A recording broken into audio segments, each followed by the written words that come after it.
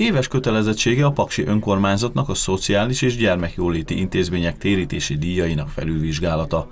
Ezzel a napirendi ponttal kezdődött a Jogi, Ügyrendi és Pénzügyi Bizottság ülése. Az előterjesztő egy 2,7%-os infláció mértékében történő emelést javasolt, de csak azok intézmények esetében, akik már így is térítési díjjal rendelkeztek. Kovács Sándor lemondása miatt az alpolgármesteri helyek számáról is döntött a grémium, valamint a gazdasági bizottság feladatköreinek módosulásáról is határoztak a politikusok.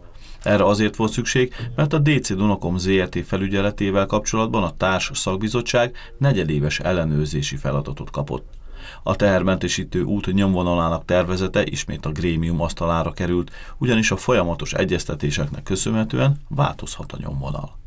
Még mindig gondot problémát jelent számunkra, hogy miként fognak gyalogosok átkelni ezeken a, a tehermentesítő útszakaszokon az űrgemező felé, hogyan tudjuk megoldani esetleg a vadátjárók, hogy ne legyenek lebénítva teljes egészében, mert olyan közel kerül majd a termentesítő út a, a, az M6-oshoz, hogy igazából könnyebb átjutni az M6-oson, mint a tehermentesítő úton. Most már kezdjük azt látni, és nagyon bezár minket ez a tehermentesítő, és egyéb vállalkozásoknak még mindig nagy gondot és problémát okoz az így kialakult helyzet. A szakbizottság a jövőben is egyeztetéseket tervez az előterjesztővel, valamint a város főépítészével a nyomvonal legoptimálisabb kialakításával kapcsolatban.